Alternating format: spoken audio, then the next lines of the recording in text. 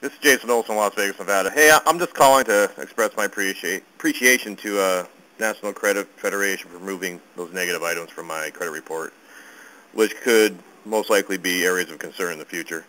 Um, just want to especially say, um, you know, I would gladly recommend National Credit Federation to anyone needing assistance improving their credit score. So, again, just want to say thank you and uh, appreciate appreciate all the hard work. All right, thank you. Bye.